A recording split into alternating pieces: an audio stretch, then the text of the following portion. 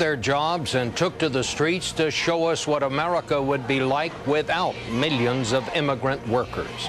So we'll start in the streets tonight and go on to these stories.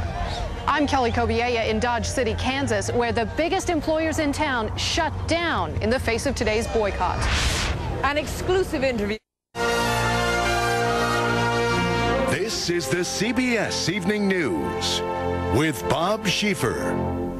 Good evening from coast to coast, from north to south. They wanted us to know what America would be like without them. And so millions of immigrants missed work, skipped school, and marched in the streets. They want America to find a place for those who came here illegally. And it's too soon to know if they changed any minds in Congress. But what we do know is that construction sites shut down, hundreds of restaurants and many small businesses closed across the country.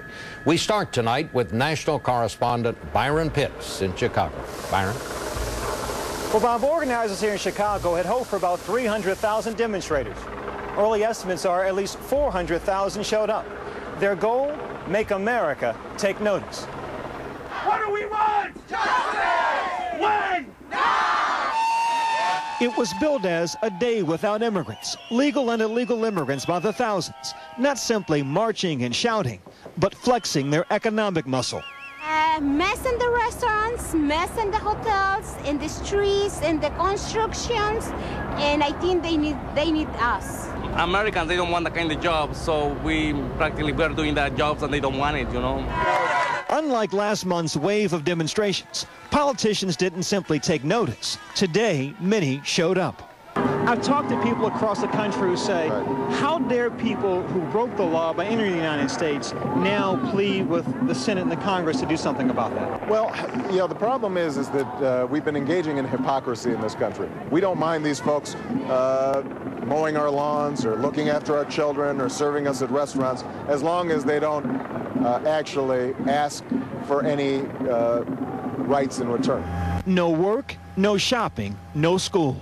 This is a wonderful educational opportunity for these kids to see social justice in action.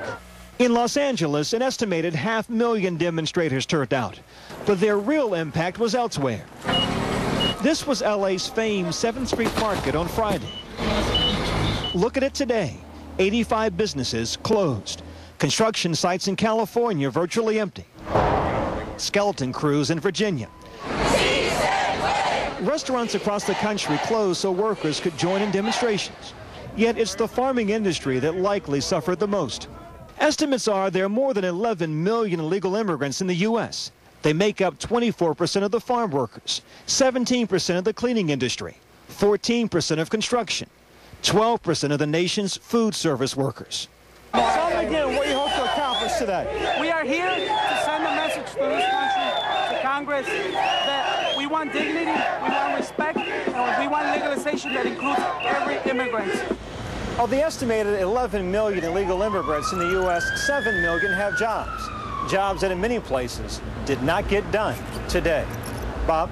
Uh, Byron, is there any way to know yet exactly what the, or give an estimate of what the economic impact was today? Well, Bob, not really. We've heard estimates as high as a billion dollars, billion with the B. But we talked to many economists today who said there's simply no way to know for sure with so many illegal immigrants working off the books. All right. Well, well, thank you very much, Byron. That is a good point. Nowhere in America was all this being watched more closely or felt more deeply than Dodge City, Kansas, which is why Kelly Cobiella is reporting from there tonight. Dodge City, Kansas is the heart of the Old West, home to cowboy legends, the cattle trade, and today to 15,000 Hispanic immigrants, half the area's population. Uh, the Hispanic people only come to for work, for work, you know. They're not criminal, only looking for job. Clemente Torres has lived here more than 20 years. He's a legal resident now and works in one of two huge Dodge City meatpacking plants. The two American companies that own the plants closed them today as a sign of support for their overwhelmingly Hispanic workforce. ¡Jamás serán vencidos! ¡Viva And Torres, along with thousands of his coworkers, marched down Main Street, where the usually busy Hispanic-owned shops were closed.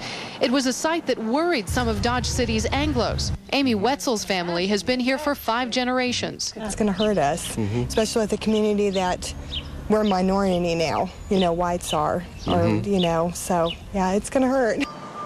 But today didn't entirely play out along predictable lines in Dodge City. The boycott was far from universal. Mike Weiss kept his furniture store open.